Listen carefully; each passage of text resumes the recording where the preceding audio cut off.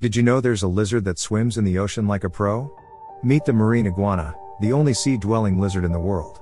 Found only in the Galapagos Islands, these unique reptiles have some amazing tricks up their scaly sleeves. With just one breath, a marine iguana can dive up to 30 feet below the surface. Down there, it searches for its favorite food, algae, which grows on rocks in the cold ocean waters. To move underwater, they use their strong limbs and powerful, flattened tails, which work like paddles, helping them glide through the waves with ease. Their sharp claws are perfect for gripping onto slippery rocks, keeping them steady as they scrape up their meal. But life underwater isn't easy. The cold water causes their body temperature to drop quickly, so they can only stay submerged for about 10 minutes.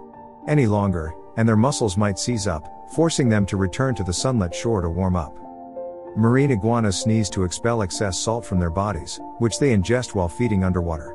Their heads can end up coated with a white crust of salt, giving them a frosted look. During mating season, male marine iguanas change color, turning bright shades of red, green, and blue to attract mates. The colors vary between islands, making each population unique. When diving, marine iguanas slow their heart rate to conserve oxygen and stay underwater longer. This adaptation also helps them avoid detection by predators like sharks.